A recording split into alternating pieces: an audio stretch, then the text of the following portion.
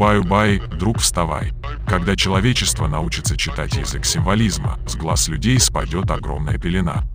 Согласно Веттию Валенты, первая часть дня начинается на закате солнца, что следует из греческой и вавилонской традиции. Неделя начинается со среды. Каждому часу дня покровительствует одна планета из семи. Понедельник – Луна, вторник – Марс, еще пятница – Мария Магдалина. Черная дама – Нотр-Дам. Мария Магдалина, ее называли Черная Дева. Культ Марии Магдалины, Нотр-Дам-де-Пари. Иисус Христос, Радомир, распят в пятницу, жертва Изиди, Кали, Море или, проще говоря, матки роидов. Современная устоявшаяся идиома «Черная пятница», ажиотаж вокруг идеи потребления – это тоже жертва. Пятница – день активной алкоголизации каждого обывателя на нашей ферме. Это тоже жертва. Каждую пятницу я в говно. Пятница – тяпница. Пятница – развратница. 80% преступлений на бытовой почве совершается в алкогольном опьянении. Что это, если не жертва? А еще в этом году Страстная Пятница выпала на Вальпургиеву ночь. Ведьмин шабаш. Этим можно объяснить скопление трагедий и выход клипов. В традициях фермы заведено, что Алка-Пятница плавно перетекает в субботу. А это уже обычные Сатурналии служение и жертвы Сатурну Осирису. Так они в связке идут Изида Осирис. Каждые выходные Изида Осирис. И абстиненция, выкидыш, воскресенье, страдания от абстиненции, стыд, вина, все эти эмоции, жертва солнечному дню. Солнечному культу боги качают энергию из людей фактически на постоянной основе. Люди, живые батарейки и личные рабочие поголовья. Поговорим вкратце. Управленцы энергетических систем являются жрецами и хранителями культа быка, шестерки господ, которые называют себя богами-архонтами. Ремонтировали старые элементы, создавали новые, глушили и запускали узловые точки. Силовые энергоустановки, расположенные в каждом городе и сверху, выглядят как электрические схемы антенны, расположенные на зданиях, земле, возвышенностях, образующие единую схему. Основной целью является сбор людского электричества Гаваха. Установки все время реконструируются, совершенствуются, модернизируются, появляются новые, но единые во всей планете элементы. Замечали ли вы на зданиях различные элементы, например, пирамиды, антенны-резонаторы? Эти работы ведутся постоянно, без остановок и пауз, возводятся новые объекты, усиливаются и укрепляются старые. На эти цели тратятся колоссальные ресурсы и задействуются лучшие специалисты, а следовательно это делается с ведомо и под прямым контролем власть имущих. Имея такие колоссальные запасы энергии, они могут менять наши циклы. Замедлять или ускорять вращение небесных сфер, тем самым подделывая так называемое время, которого по сути нет. Например, внутри нашей планеты, которая имеет подобие куриного яйца, над нашей головой в 100 километрах так называемый желток, первая небесная сфера. Боги, захватывая временную петлю, могут попадать в прошлые циклы, делать изменения, что отражается на будущие циклы. Это изменение циклов пространства. Для людей была придумана единица, которую назвали время. Так были переписаны и искажены все науки, знания о прошлом с подменой понятий, дат и смыслов. И на деле самого времени не существует. Это виртуальная единица, ведь по меркам Вселенной настоящее, прошлое и будущее это одно и то же. Также эта энергия служит для их бесконечной продолжительности жизни. Энергия, плазма, холодный эфир, электричество – это их еда. Кто они такие? Роидная цивилизация, которая выше нас по уровню в сотни раз, но со знаком минус и перешедшая на питание плана тонкого уровня. Наши предки-титаны, человеки боролись с богами и вели с ними войны тысячелетиями, ибо это первые враги. Люди и животные – это батарейки для них, которых они разводят. Рабочие поголовье. Подробно о богах вы узнаете в серии «Осознай матрицу реальности. Боги». Чтобы понять что-то про эти сражения, нужно для начала обозначить цели самой войны, которыми являются планетные ресурсы. Но только не ресурсы в понимании пятикантропов, то есть нефть, уран, блестящие бусы и палки-копалки, а ресурсы настоящие – люди, которые бегают по этой планетке и выделяют психическую энергию. Для сбора этой энергии над городами и населенными пунктами висят специальные улавливатели, которые туземцы называют термином НЛО, а для управления сбором энергии есть специальные рычаги, которые туземцы называют словами политики и СМИ. Например, два политика побили между собой горшки и приказали подданным друг друга резать, что подданные побежали выполнять, выделяя в процессе резни энергию. А потом, лежа в массовых захоронениях, подданные будут выделять энергию еще и после смерти, излучая ее через какой-нибудь красивый памятник. В более мягком варианте сбора процессом жатвы руководят СМИ, то пугая народ угрозой войны, то устраивая массам спортивные мероприятия, то показывая увлекательные сериалы. В процессе сбора урожая роли строго распределены, марсиане забирают себе вершки, а местным элитам разрешают только дергать за корешки, в обмен предоставляя какие-то плюшки, таблетки от всех болезней, технологии, гарантии какие-то и так далее. Система сбора энергетического урожая отлично работала много лет, возможно, даже много столетий, однако в районе 2020 года в сложившемся балансе возник конфликт интересов. В чем он заключается, никто из непосвященных, конечно, не знает, но ситуация могла пойти по одному из двух вариантов. От Роя поступил заказ на Третью мировую войну, чтобы, так сказать, очистить поле для нового посева. Однако держателям рычагов такой расклад не понравился, поскольку это грозило им резким падением качества жизни.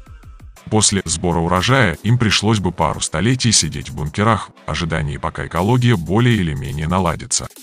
Кроме того, одно дело отправлять гонца в командировку каким-нибудь великим верховным лидером или фараоном, вокруг которого будут бегать толпы смазливых фрейлин, но совершенно другое дело ехать в командировку и возглавлять какой-то злобный мутантный сброд, сбившийся в общины на радиоактивной пустоши.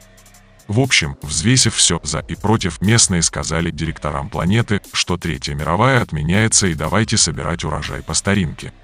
Вышним такой ход мыслей не понравился, поэтому они решили перехватить управление и поставить на рычаги более послушных людей. Или вообще даже начать нажимать на рычаги самостоятельно. В дружном тандеме Вышних и правителей из землян появилась какая-то третья сила. Например, какая-то отколовшаяся группа землян, решившая завернуть все одеяло на себя. Или прибыли какие-то другие иные из другой планеты, например, условно говоря, плеядцы или ситуацию в свои руки решил взять осознавший себя искусственный интеллект. В известном фильме про Терминатора искусственный интеллект начал с того, что запустил ядерные ракеты, в расчете, что элиты сами себя перебьют. Но какая-нибудь пандемия – это тоже неплохой вариант, поскольку давайте посмотрим, что произошло за последние несколько месяцев. Коронавирус начал косить китайцев, как показывали нам, где-то в ноябре прошлого года, но все про это хранили молчание и никто нигде ни к чему не готовился. А когда информация попала в СМИ, когда китайцы уже стали якобы падать на улицах, власти везде что говорили?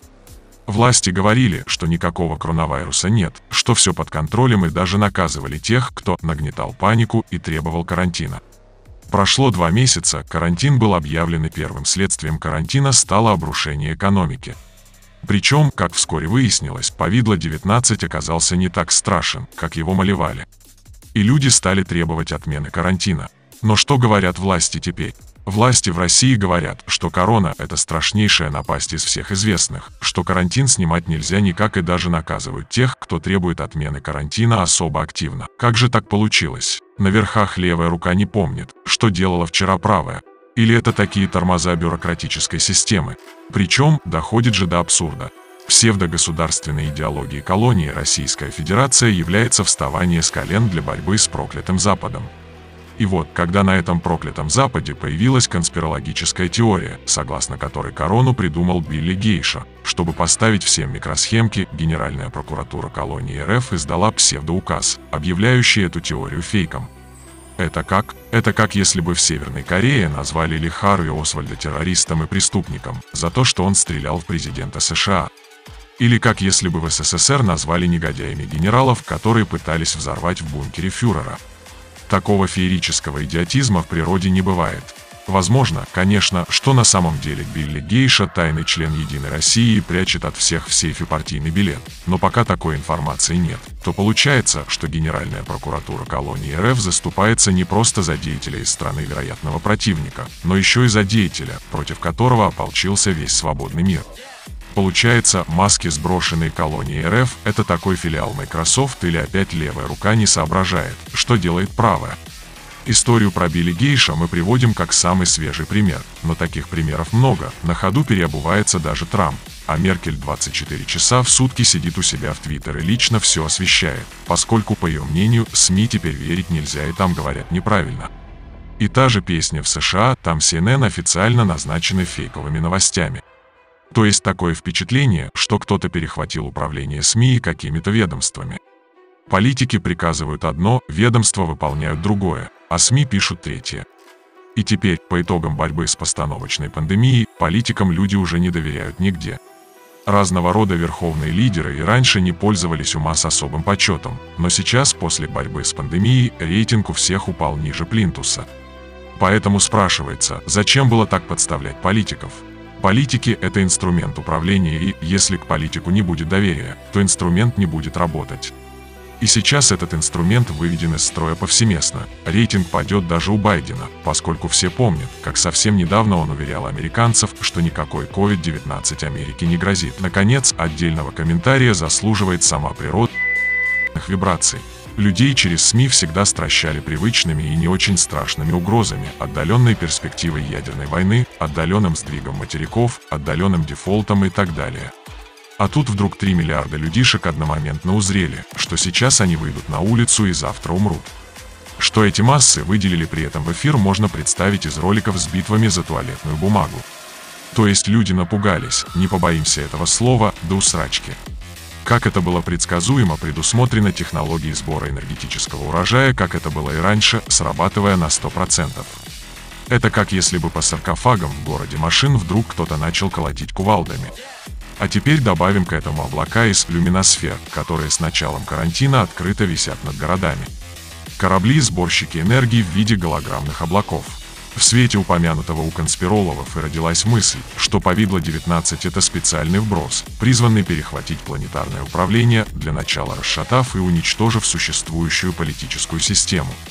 Вирус повидло-19, очевидно, управляется дистанционно через систему судьба, усиливаясь или ослабляясь по команде например, путем воздействия определенных спектров электромагнитного излучения.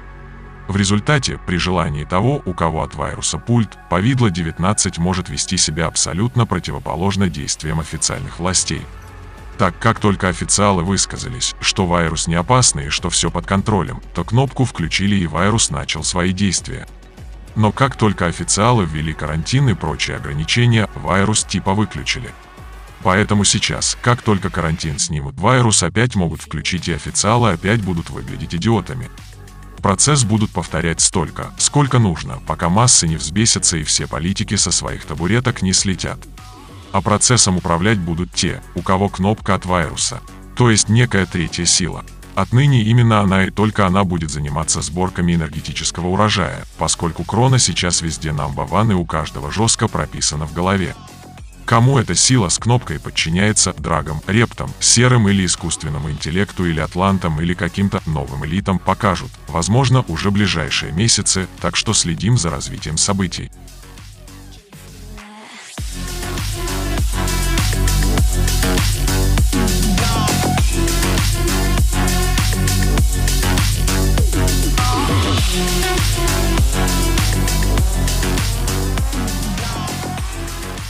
Рекомендуем канал с видеоуроками по видеомонтажу и постпродакшену RecFox. Полезный контент для новичков, так и для профессионалов. Подписывайтесь на наш творческий музыкальный канал DJ Comarex, на котором вы найдете музыкальные треки разных направлений, созданные автором канала Wake Up Дружи Сергеем Ариевым. Ссылка в описании.